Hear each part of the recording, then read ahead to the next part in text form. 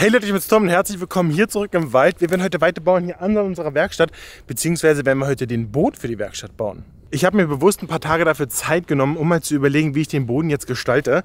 Und ich habe mich jetzt dafür entschieden, dass wir auf jeden Fall einen rustikalen Holzboden reinbauen, der allerdings gedämmt ist. Das Baumaterial steht hier hinten schon bereit und ich muss ganz ehrlich sagen, es war gar nicht so einfach, wirklich gutes Holz zu finden, was rustikal aussieht und noch die entsprechenden Abmessungen hat. Die Holzdielen sind jetzt 3 cm stark, 16 cm hoch und 3 Meter lang. Und wir werden heute mal probieren, den Fußboden für unsere neue Werkstatt hier hinzuzimmern.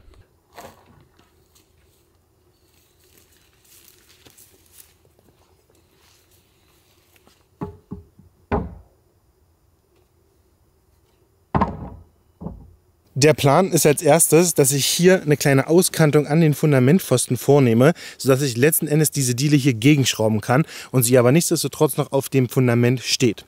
Das werden wir jetzt erstmal probieren, hier an allen vier Seiten zu machen, sodass wir schon mal die rechteckige bzw. quadratische Fläche von 3 x 3 Metern erreichen.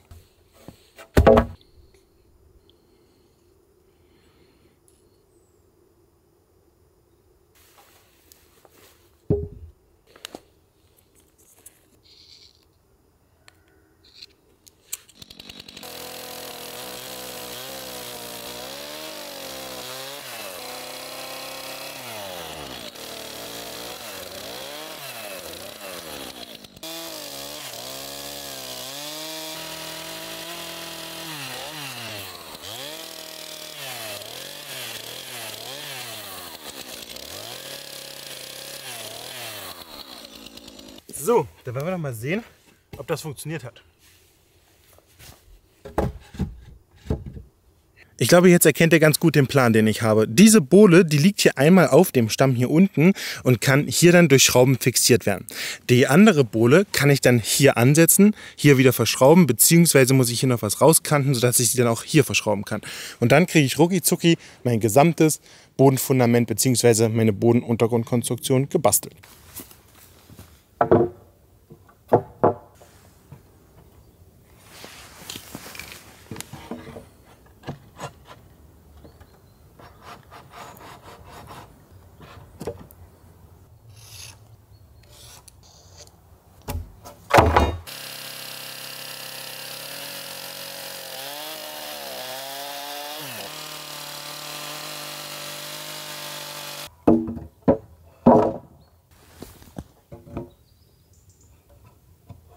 Sehr, sehr gut.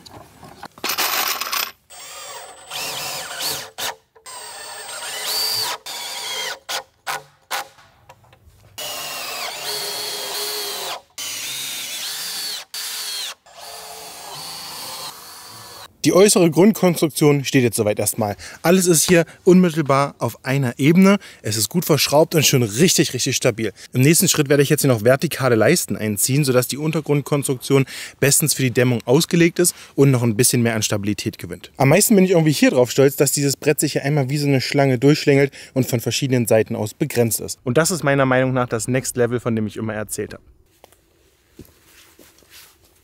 Im nächsten Schritt muss ich jetzt hier so ein paar Segmente einteilen, weil diese drei Auflagepositionen reichen natürlich nicht. Darum werde ich jeweils noch in der Mitte von den zwei Feldern hier ähm, das Ganze nochmal teilen und schön mit einer Querverstrebung verbinden, sodass ich dann hier auch eine gute, wirklich eine richtig solide Untergrundkonstruktion für den Boden habe, beziehungsweise auch gleichzeitig die Halterung für die USB-Platten und die Dämmung. Ich werde die Balkenschuhe hier zur Hilfe nehmen, an dieses Brett schrauben, weil dann habe ich gleich eine schöne Halterung für die weiteren Bohlen.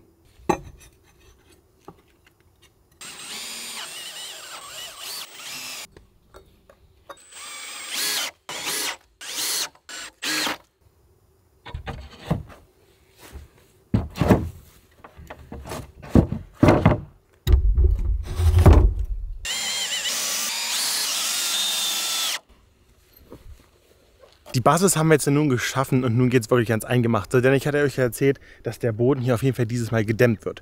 Und ich kann euch schon mal so viel sagen, ich habe das noch nie gemacht. Und heute ist mein allererstes Mal hier wirklich einen Boden richtig zu bauen und den dann auch noch zu dämmen.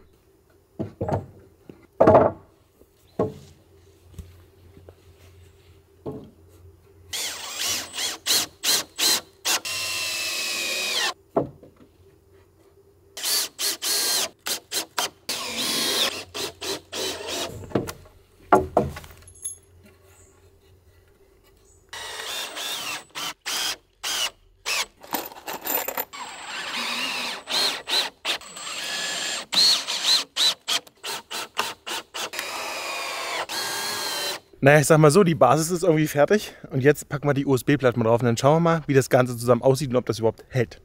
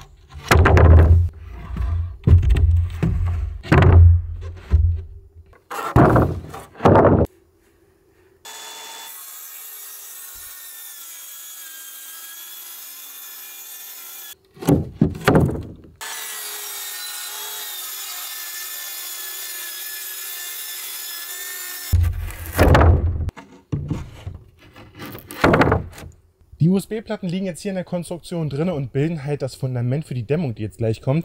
Und einige werden sich sicherlich gefragt haben, warum hier noch so viele Spalte sind. Ist das überhaupt richtig? Meiner Auffassung nach ist das richtig, damit hier im Unterboden auch noch eine gewisse Luftzirkulation stattfinden kann. Ich meine, klar, am nächsten Schritt mache ich jetzt diese Dampfbremse rein. Aber nichtsdestotrotz muss ja auch das Wasser, was sich hier zwischen der Platte und der Dampfbremse letztendlich sammelt, auch noch weg können. Das ist jetzt hier die Dampfbremse und die werde ich jetzt hier mal antackern und dann schauen wir mal, wie das Ganze zum Schluss so aussieht. Es ist halt gar nicht so einfach, Leute. Es ist nicht so einfach, wie es aussieht.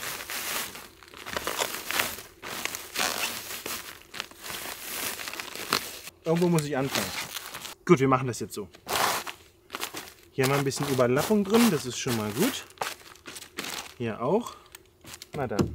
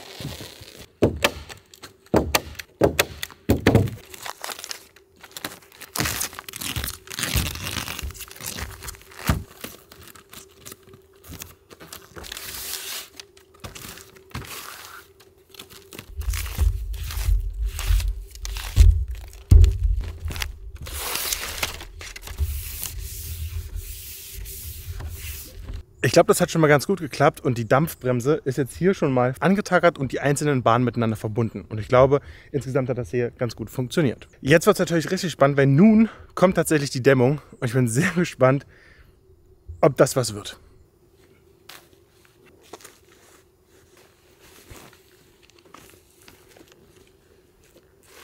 Die Dämmung ist drauf und das Ganze hat gerade mal 15 Minuten ungefähr gedauert. Jetzt geht es weiter mit den Bodendielen und da bin ich mal sehr gespannt, wie das zum Schluss aussieht.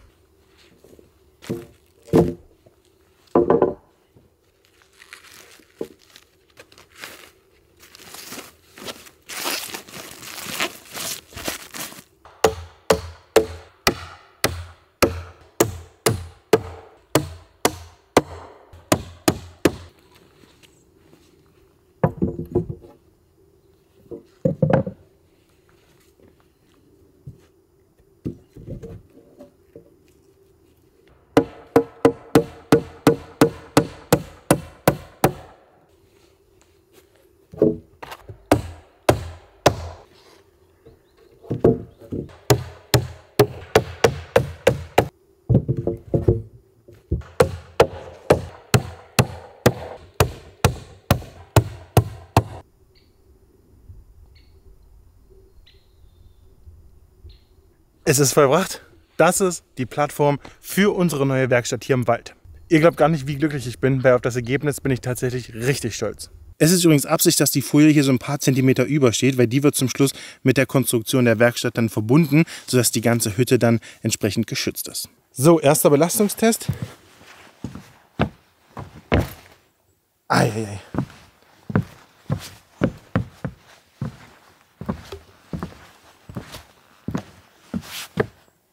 Das sieht gut aus.